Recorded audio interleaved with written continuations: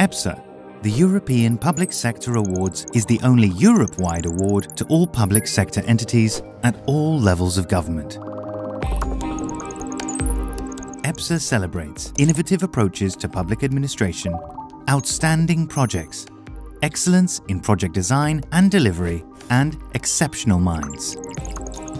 Ultimately, EPSA celebrates the work and contribution of public administrations and civil servants around Europe.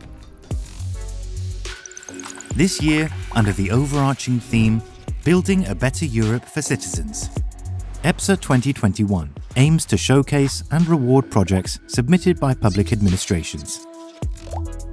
EPSA rewards new solutions in public service delivery and policymaking for increasingly complex and multidimensional challenges.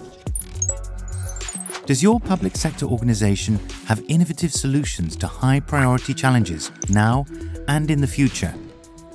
If so, submit your achievement to the European Public Sector Award 2021. For EPSA 2021, the three themes linked to the European Commission's priorities are green, innovative and digital public administrations. Would you like to be recognised by EU citizens, national and European institutions and public sector partners, make your successes known. Be the change Europe needs.